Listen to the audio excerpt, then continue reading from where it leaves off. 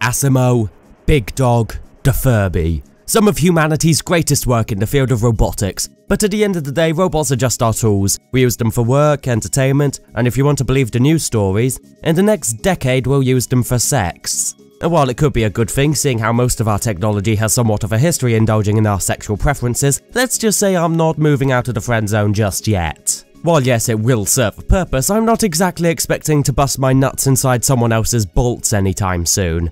I'll leave that to the pervy old men of the next generation. One particular pensioner called Dr. Cain went on an archaeological dig hoping to get a good boning, but managed to find an unexpected capsule containing a scientific marvel of a robot called Mega Man X. Using X, Cain designed replicate androids, or Reploids for short. Thank goodness he didn't call them mechanical widgets. But as luck would have it, all Reploids have a fault in them that makes them go Maverick eventually. So what's the plan for taking out these dangerous Reploids? They create stronger Reploids to eliminate them. So just to clarify, the plan for destroying the faulty robots is to create stronger faulty robots.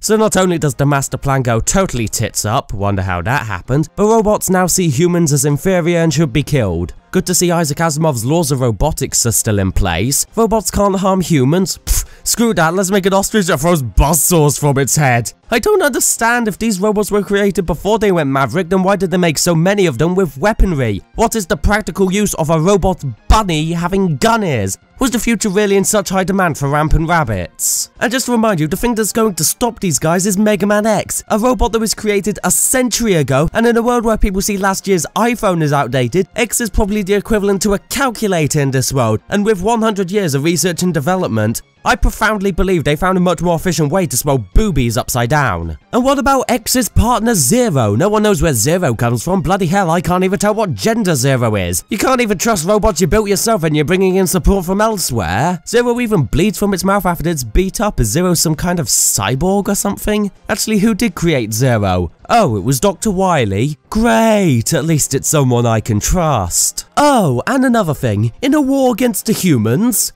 what are the humans actually trying to do during all of this? There are only two robots in the entire world trying to stop the extermination of mankind, so why not help them out? The plan is to kill the Maverick leaders anyway, so why not get the military in or hell, drop an atom bomb on their base? It's not like robots can emerge from the fallout grossly disfigured and broken beyond use. That only happens when you try to upgrade your Windows operating system. Actually, looking at the Maverick leaders, what's with the naming convention of these guys? Spark Mandrill? What the actual fuck is a mandrill?